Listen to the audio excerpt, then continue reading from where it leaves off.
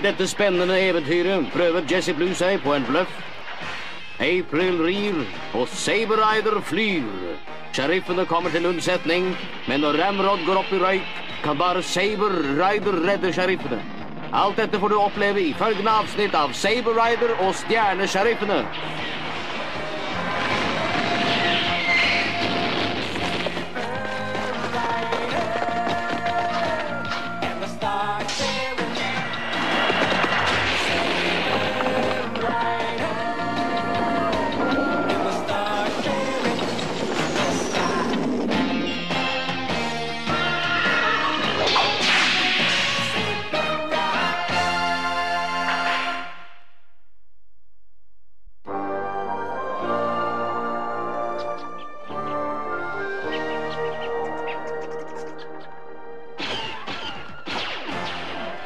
Bakketransporten angripes, men stjernesheriffene kommer til unnsetning.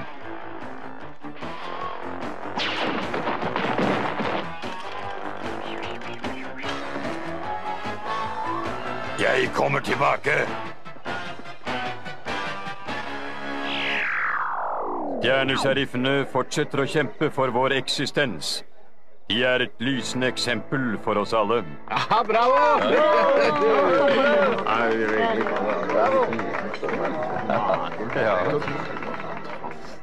Ingenting av dette kommer opp mot henne. Hun er perfekt. Da hun underviste i selvforsvar, klarte hun ikke å legge meg i bakken, men likevel har jeg falt for henne. Kjærlighet ved første blikk. Jesse, hei!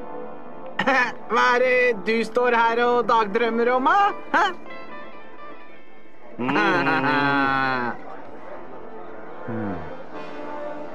Unnskyld meg, jeg er straks tilbake.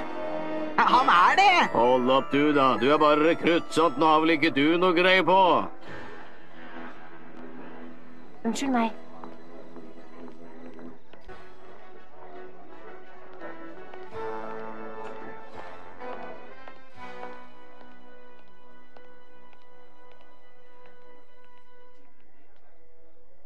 Hei, Jesse.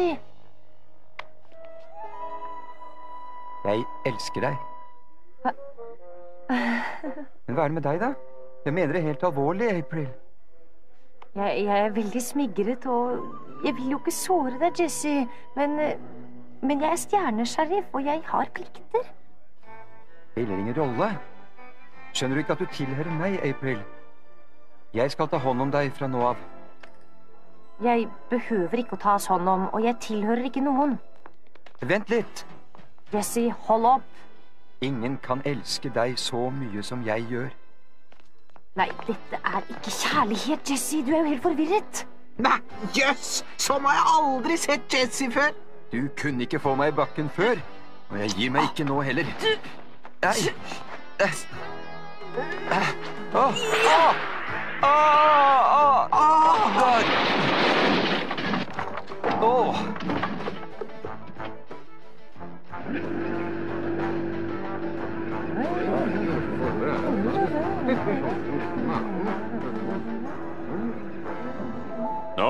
Som har hendt med deg, Jesse Blue?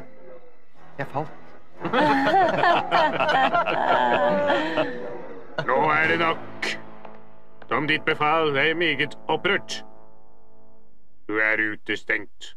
Du må ta en ny prøve. Hæ? Nei, dere kan ikke gjøre dette mot meg. Jeg er jo den beste. Jeg har høyest karakter overalt. Jeg er den beste rekrutten, og det vet dere. Ikke uten ydmykhet, Jesse. Du har mistet den rette ånden. Mot, håp og sjenerøsitet. Hva så? Jeg vil ikke bli noen stjernesheriff. Ah. Dere kan ikke utestenge meg. Jeg slutter.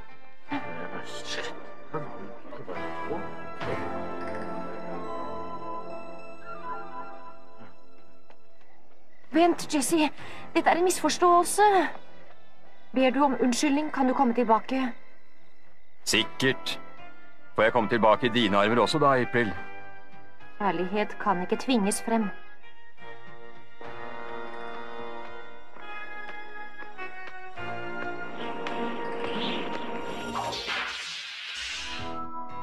Disse skipene har vi tatt fra de lovløse.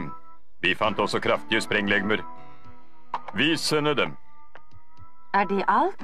Ja, men vi skjønner ikke hvordan de fungerer, men vi har hørt at du er dyktig med sånt. Hun er den aller beste.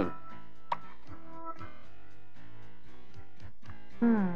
De lovløse elsker sprenglegemer. Ja, de er flinke til å lage bomber. Synd at de ikke er like flinke til å lage fred. Hmm. Ja, jeg kjenner igjen kretsene, men jeg trenger spesialverktøy til dette her.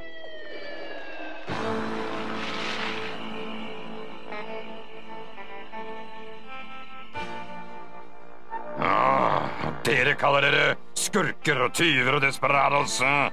Sludder! For noen sinker stjernesheriffene har fått dere til å se ut som, som noen pysete skoleunger. Men de skal få igjen så det kjennes. Ja. Men Det er noen der.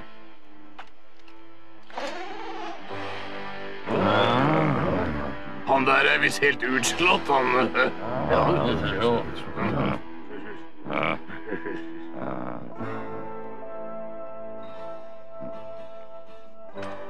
Ta han! Vent, det er jo bare dokker! dokke. Det er noen som leker med oss. Dere har helt rett, karer. Drep ham med en gang! Ta det med ro, karer. Jeg er jo helt ubevæpnet. Du er en sånn stjernesheriff, hæ? Mm. En stjernesheriff. Hvordan kom du deg usett inn hit? Det var ikke vanskelig, Wolf. Og jeg kan komme meg inn hos sheriffene på samme måten. Nå, har vi noe å snakke om eller ikke?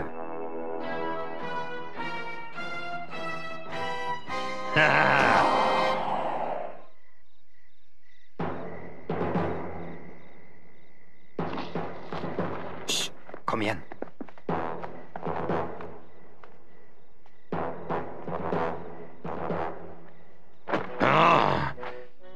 Meg, Jesse, hva driver deg? Hva pleier å drive menn? Et par øyne blå som får hjertet til å slå? Jaså du, Jesse Blue. Redd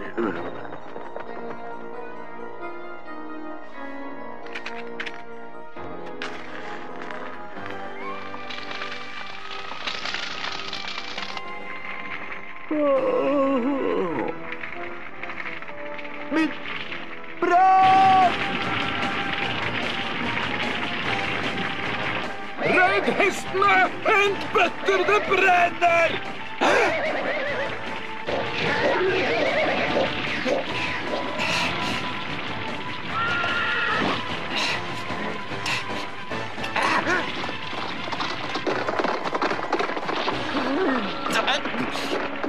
Slipp det kaldt!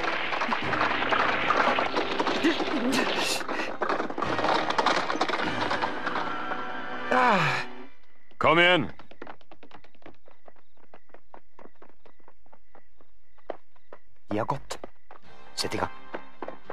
Kan bløffe som du, Jesse Blue. Og nå tar vi en titt på våpnene. Denne brannen er påsatt. Se å få slukket nå. Men se hva vi har her, da. Sprenglegemer. Start miniskipene. Mer vann! Brønnen er tom!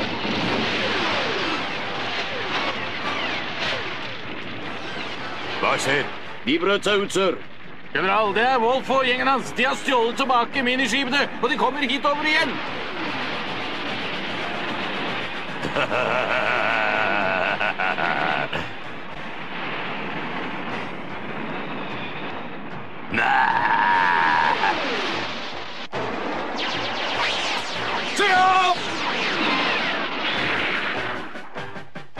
Se, han har tenkt å ta tårnet!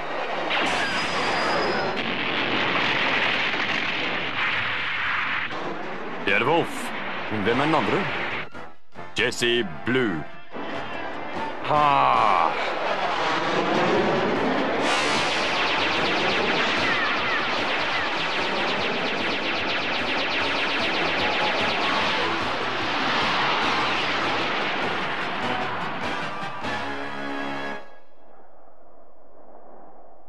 Det gjør vondt i hjertet, for alle rekrutter er som mine barn for meg.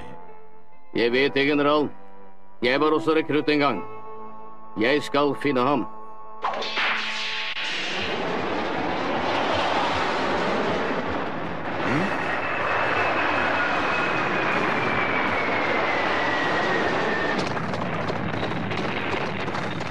Vi tar inn på ham.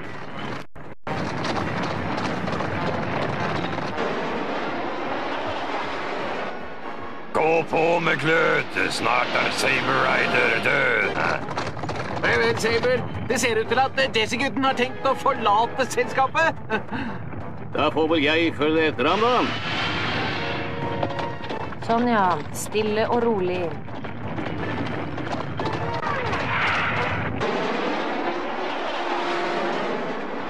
Jeg tror jeg avslutter reisen her.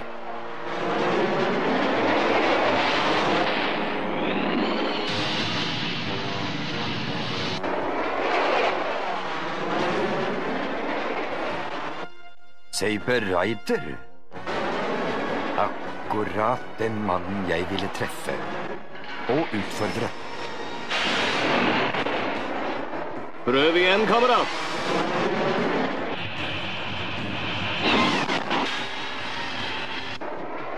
Han er sjalu på grunn av April. Hun er like god som han.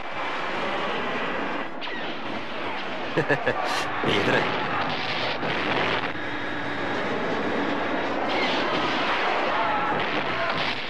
Ja. Han må være der nede et sted. Hæ? Jeg bommet to ganger, men ikke tre ganger.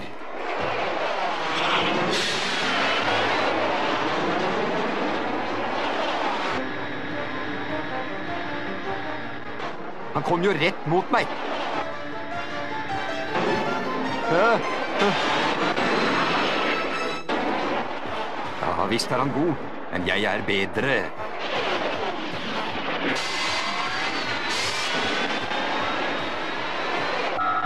Saber Rider, er du der? Ja, jeg er her, April. Vi har stoppet de lovløse og tatt noen av dem til fange. Resten klarte å komme seg unna. Vi skal avlegge et lite besøk, hvis du skjønner hva jeg mener.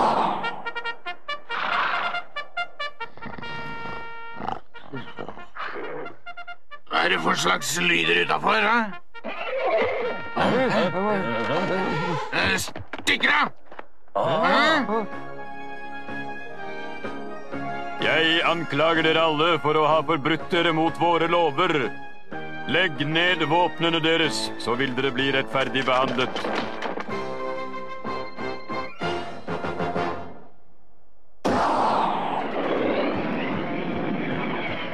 Jesse.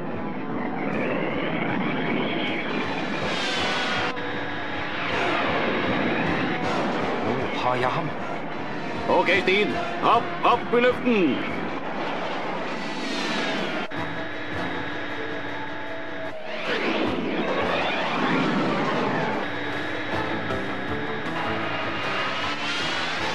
Vær klar nå.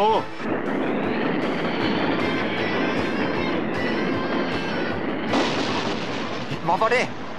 Det er meg, Jesse. Du har fått flyveforbud.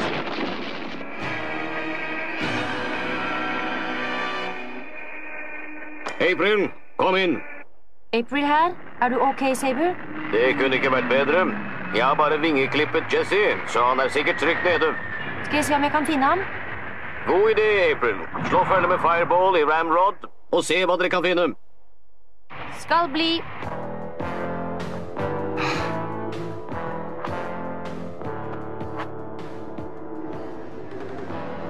Ramrod? Equalizer-skipet.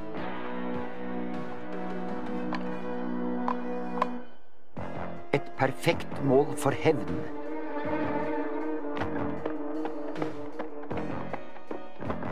Det kommer bare til å bli småbiter igjen av Ramrod.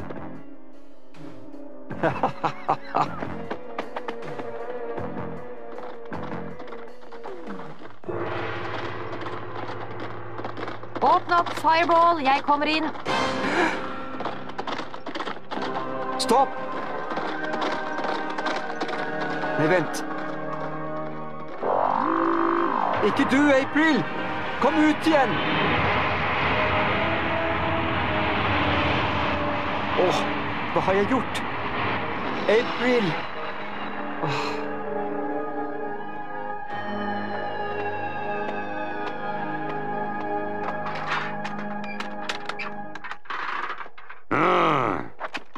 Der er du, Jesse Blue. Å, vi fikk bank, og til bunn vi sank. Å holde sammen i tynt og tykt, slik blir skurkene uten frykt. Vekk med deg. Aha. Det var visst feil taktikk. Ja. Dette kommer til å påvirke forholdet vårt.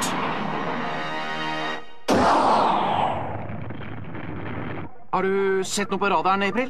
Ikke så mye som et mikropip. Merkelig, hva? Cod, har du noen som helst peiling på hvor Jesse kan ha landet? Nei, April. En grønn rekrutt vet man aldri hvor havner. April, det er Saber Rider. Jeg ser noe ved horisonten. Er det Jesse? Ja, og han har fått tak i et nytt skip.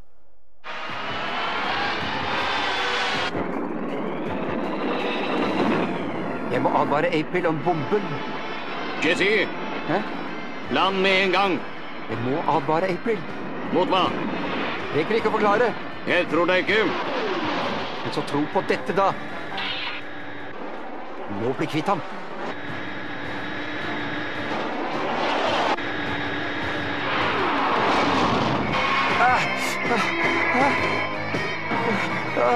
Åh.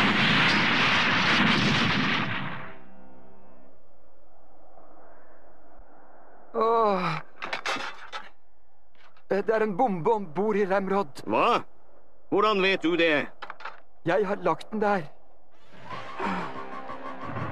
Jeg visste ikke at April skulle med. Men det er for sent nå.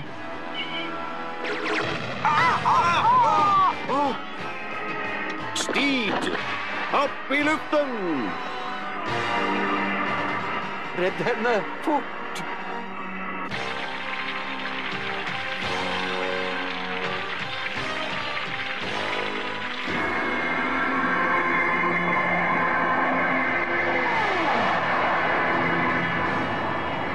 Jeg vil gå inn, Saber. Det gjør du aldeles ikke. Hold deg på sikker avstand, og det er en ordre. Kom igjen, Stig.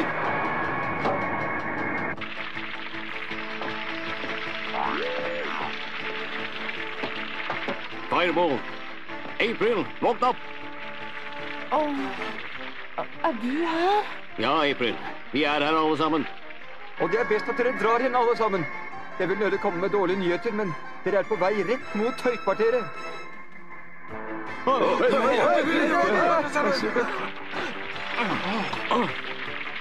Vi får prøve.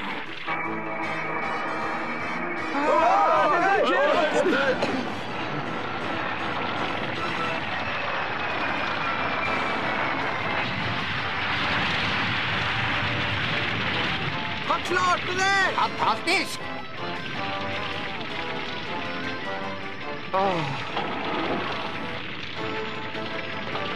Håper gutten er ok. Jeg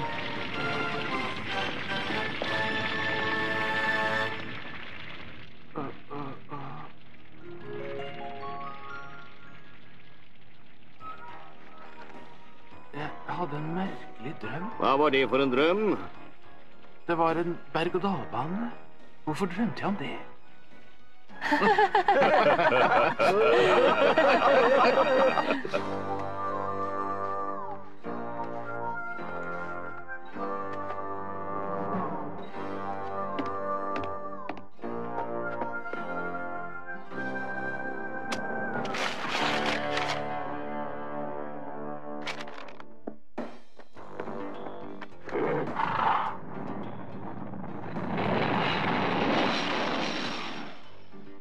Så nå er jeg en etterlyst mann. Nå er det ingen vei tilbake. Tenk om vi kunne fått Jesse Blue til å beholde den rette ånden.